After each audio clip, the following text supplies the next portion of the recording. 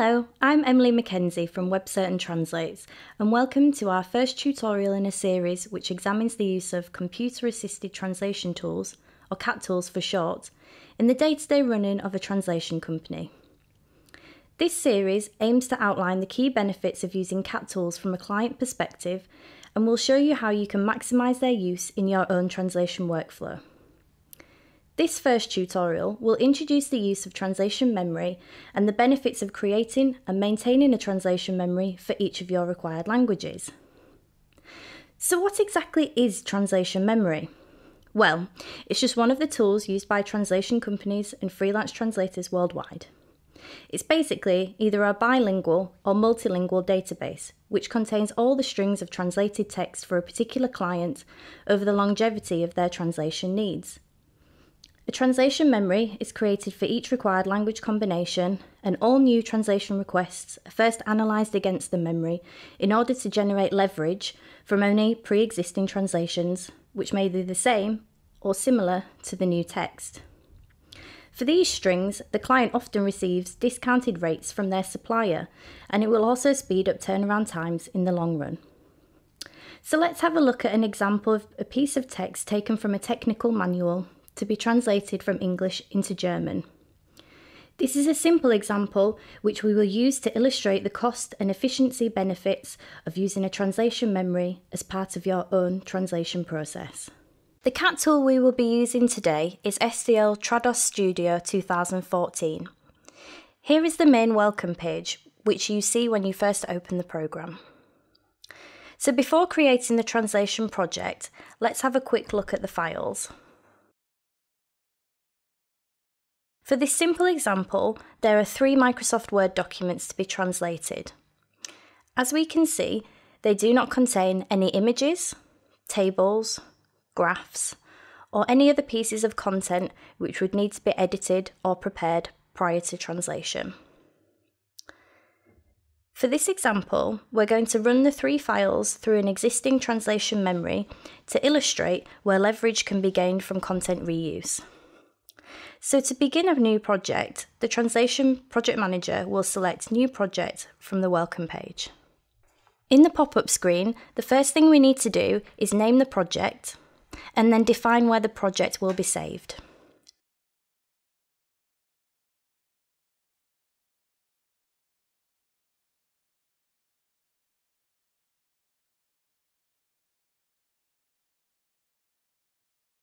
Next, we select the source and target languages from the available drop-down options. For this example, the source will be UK English and the target will be German for Germany. We then select the three Word files for translation and add them to the project. On the next screen, we add the existing translation memory to the project by selecting the relevant language combination. Therefore, the memory we will use for this project is from UK English into German for Germany. The next couple of screens are not relevant for this particular project, so we'll skip through those for now. And let's stop at the Analyze Files settings screen, where we're going to activate the Report Internal Fuzzy Leverage option. This will provide us with an analysis of the word counts that also takes internal repetitions across the three selected Word documents into consideration. For example, if the same or similar sentence appears in all three files, then we want to make sure that this is reflected in the analysis and charged to the client at a discounted rate. The final stage is to finish the project, which is now being created by Trados Studio. Once the project has been created, we can look at the analysis of the word counts by going to the reports area of the programme, accessible from the toolbar on the left hand side of the screen. Here we can see the breakdown of leverage generated from the translation memory. We'll look at this in more detail a little later on. If we look at the total number of new words analysed which do not appear in the memory, we can see that there is a total of 411 new words across the three documents. The remaining 420 words have been recognised somewhere in the existing memory, with a total word count of 831 words to be translated. Let's save this analysis for comparison later on and move on to the second example, where we will analyse the same three Word documents but without using a translation memory. Like before, we go back to the welcome page and create a new project. Again, we name the project and define where the project will be saved.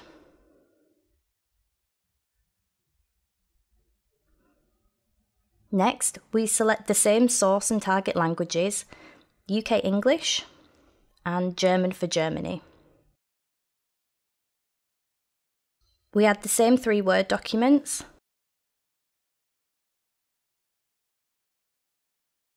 And at this step, unlike last time, we're not going to add a translation memory to the project.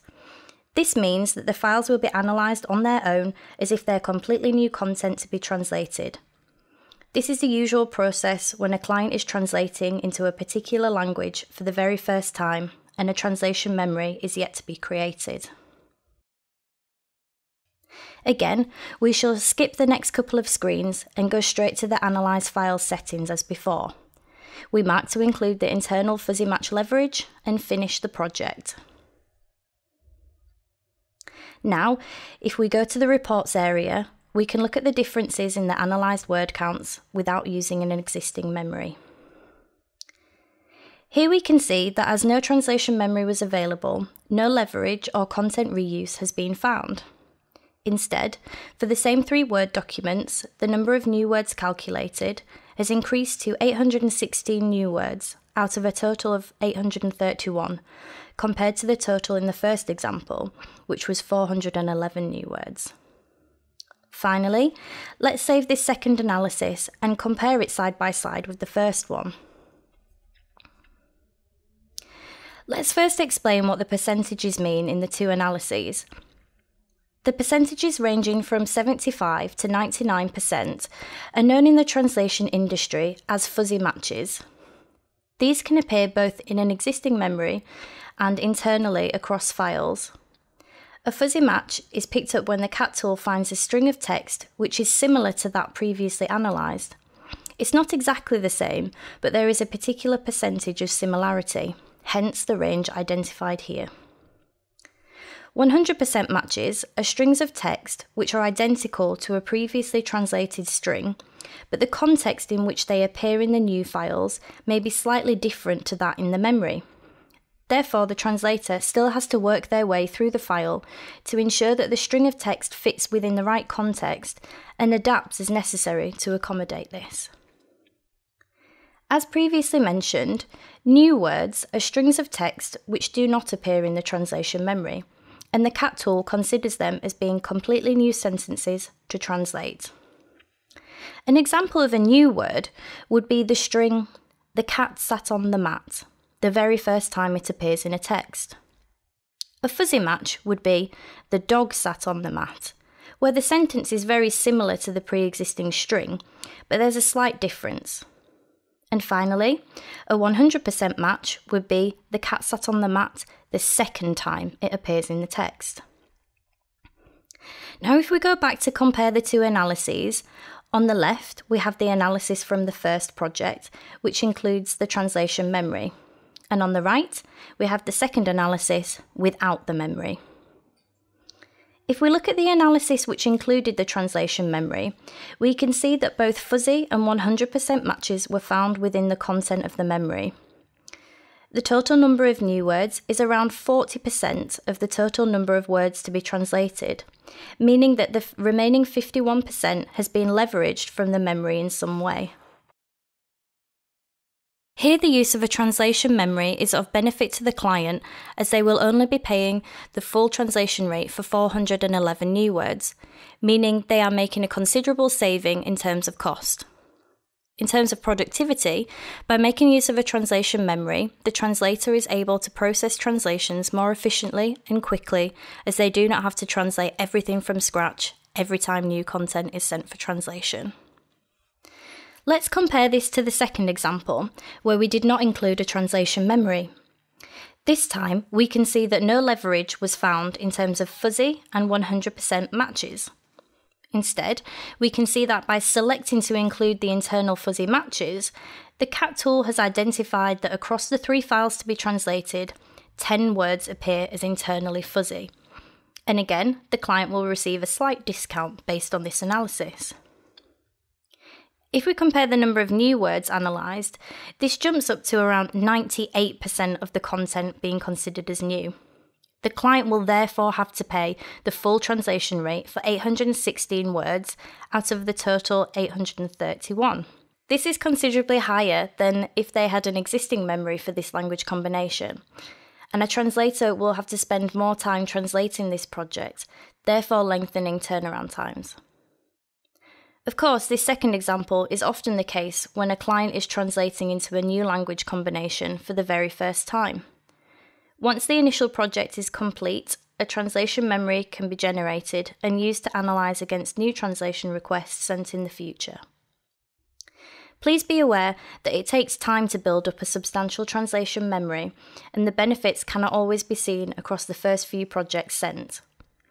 If your translation requirements for a particular language are considerable, then it's definitely in your interest to ask your supplier to create and maintain a memory on your behalf, as you're sure to reap the benefits in the long run.